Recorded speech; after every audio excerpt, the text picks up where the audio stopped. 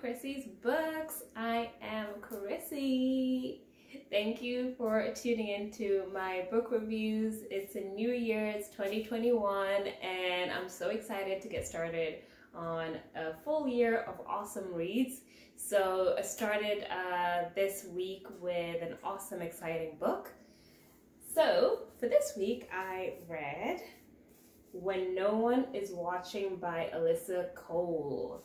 Y'all might have maybe heard of this book. Uh, it's one of those books that was just everywhere when it came out. You could not escape it. It was on all the lists. It was like an instant New York Times bestseller book. Um, and yeah, just everybody was reading this. And I'd love to give a huge, huge, huge thanks to William Morrow Paperbacks of HarperCollins Publishers for sending me a print copy of this book, so thank you. So this book is a thriller and it was advertised as a mix between Get Out, the movie, and um, Hitchcock's Rear Window. Um, yeah, as soon as I heard that, I was like, I want to read that. That sounds really interesting. It sounds like, you know, not your average thriller. So yeah, had to read it. Let's jump into the plot for When No One Is Watching. The setting is Brooklyn, New York City, best city in the world. Um, we follow a woman named Sydney Green. She's a true New Yorker, born and raised in her beloved hometown in Brooklyn. As much as she loves her street and her neighborhood, lately she's noticed that it seems to be changing within the blink of an eye. Condos are popping up all over the place. Um, her local shops are, are, being turned into like bougie, you know, chic stores. Um, there are for sale signs everywhere, and her neighbors are literally disappearing overnight. To hold on to her community's past and present, Sydney channels her frustration into a walking tour of her neighborhood and finds an unlikely and unwanted assistant, one that happens to be one of the new arrivals on the block, and his name is Theo. Sydney and Theo's dive into history soon becomes a twisted and dizzying descent into paranoia and fear. It turns out her old neighbors may have not moved to the burbs after all, and the eager push to revitalize the community may be more deadly than advertised. Where exactly do local people go when the gentrification pushes them out? When does coincidence become conspiracy? Can Theo and Sydney trust each other for long enough to find out before they too disappear. So that is the premise or the plot for this thrilling rear window slash get out um, book. Stay tuned because when I come back, I'm going to give you my review and I'm going to give you my song pick for this exciting, thrilling read.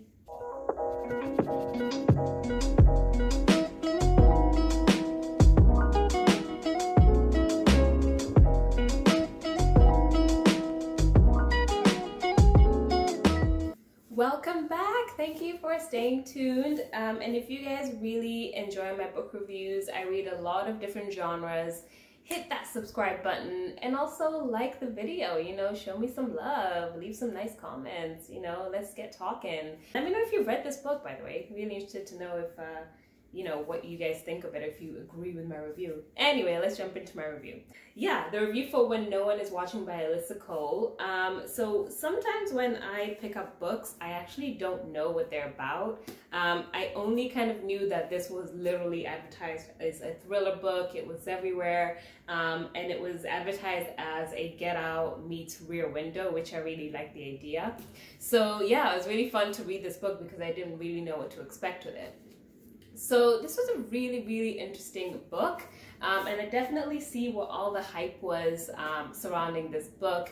And it is an exact mix of Rear Window and Get Out, like literally just married together um, which I thought was really cool. So let me talk a little bit about the characters um, in this book. So we follow Sydney, who is a 30 something year old black woman, and she basically is living in her, you know, fictional uh, Brooklyn hometown. It's just like that classic story of, you know, you grow up in a neighborhood your entire life, especially a neighborhood like Brooklyn or, you know, any neighborhood really and you start to see gentrification happening right in front of you. Soon, like all of your old neighbors are disappearing. So I did really like that this book was quite relatable. I think a lot of people relate to this kind of uh, book, especially if you're from born and raised um, in a specific like you know city where you know everybody wants to live in and things are changing and you've got condos and your rent is going up so it's very timely and it's very now which i really liked I really liked the characters in this book. There weren't a lot of them, um, so it is mostly told from Theo's point of view and from Sydney's point of view in the book.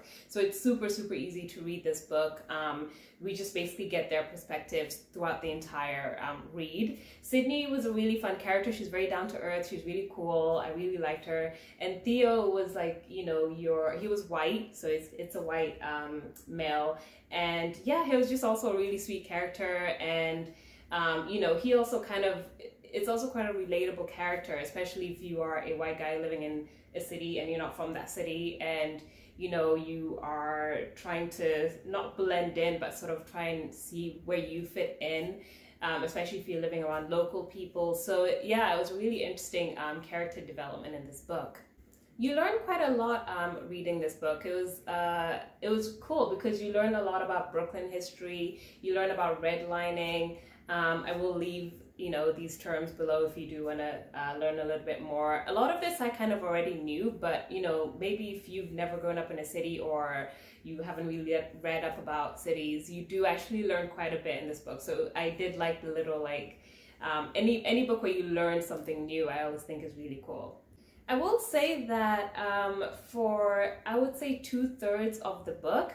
I completely forgot that I was reading a thriller because it kind of felt more like a drama in a way, but it was really gripping. It was fun and it was like very refreshing. I really like the writing style um, of this book. Like she was sort of writing it as how she would say it, and I really did like that. So um, it was felt just quite like real and relatable. Anybody can read this book. Yeah. So anyway, I was saying that um, while I was reading this book, and because I didn't really know a lot about it, except that it was supposed to be a thriller and it's a mix between Rear Window and Get Out, and it really is that you do have that whole you know you can picture if you've been to brooklyn uh, i don't know if you've been or any city really where you have sort of like nice you know neighborhoods and um, apartment buildings you can actually see some most of the time what your neighbors are up to. So you know you do get that sort of mysterious like you know what's going on there? You know it's really like creepy and it was really interesting. Um, and yeah, I would say for like two thirds of the book, it really kind of like built up really well, but it didn't feel like a thriller for to me for like, you know, I would say a good chunk of the book. And then right towards the end, it just sort of like jam packed suddenly turned into like a psychological thriller, but it happened so quickly. Like it was just sort of like, ah, it just felt really rushed.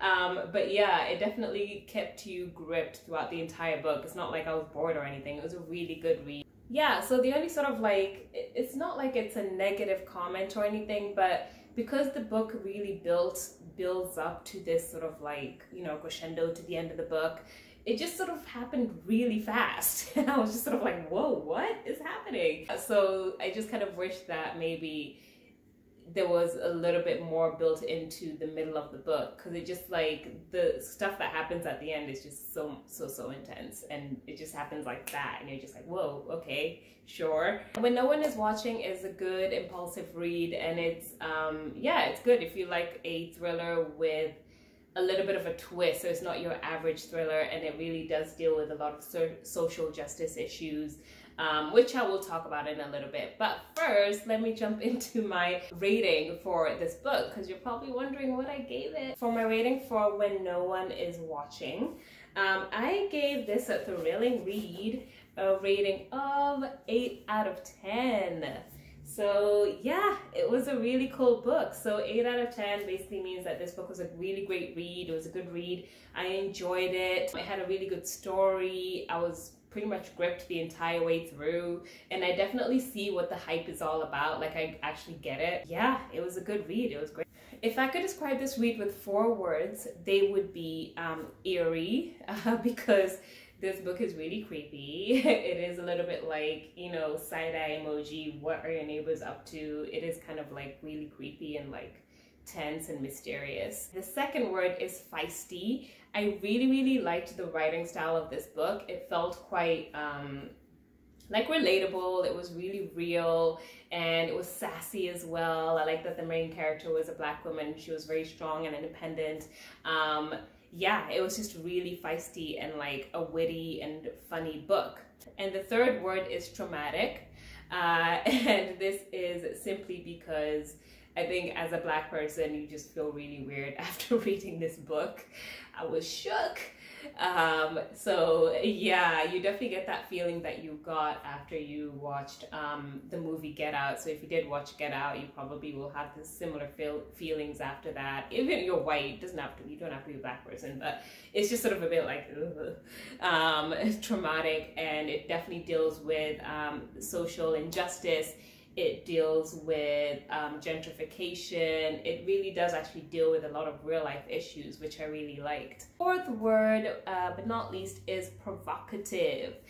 And that is because this book is a definite uh, thought-provoking read. Just thought it was really different. It's not like your ordinary thriller book, um, and I really enjoyed it. And also, like a little fun fact: in the book, they would have like because it is a neighborhood, they'd have this little chat group, which was really fun. So it's you know, I live in a place where there is actually like a neighborhood chat type of thing. So it was very relatable and people post all kinds of weird stuff in there. And yeah, it was just a, it was an interesting book and it was really, really good. I will say that all in all, this was a really good read. I enjoyed that it was a different type of thriller than your average thriller. Um, it was very impulsive, and I definitely liked the underlying message that Cole left us with in the book. And I definitely get what the hype was all about as well. I do recommend for you to read this book and it's exactly a mix of Rear Window and Get Out. I will post links for those below in case you're like, what is she talking about? There's a complete mix of that. It's got racial issues, it deals with gentrification, it deals with social justice, and it's also just a good thriller. Um, like I said, the only negative thing was that everything happened like so fast at the end. I was just like, ah, it's a bit unbelievable, but um, yeah, I loved it. And I love the vibe. I love the setting of the book was really cool. Brooklyn is just like one of my favorite cities. Um, and it made me miss Brooklyn so much living there. Um, but yeah, great book. With all that said, let's jump into my song pick for when no one is watching. So for this song pick, uh, if you guys don't already know, if you're new to my channel, I heart music so much. Love music. Um, and I love pairing a song with the books that I read. And sometimes it comes really naturally, and I think of like, I can think of a vibe that I want. And that's what I felt with this book. I knew that I wanted a song that was old school. I knew that I wanted a song um, that was a rap uh, song or hip hop song. I wanted it to be about Brooklyn you know, because there's so many great rap songs out there about Brooklyn, so many I can think of. I wanted an old school song, but then I wanted it to kind of reflect old school Brooklyn before like all the gentrification, all the new kids, and all the hipsters came into, um, you know, to any city. It doesn't have to be Brooklyn. It can be London. It can be, you know, Paris, wherever. Um, so yeah. So my song pick for when no one is watching is a track called The Place Where We Dwell and it's by Gang Starr. So check out the video. I don't think there's a music video, but you can definitely listen to the song. I'll link that on here. Thank you so much and I hope you enjoyed this week's review. See you all next week.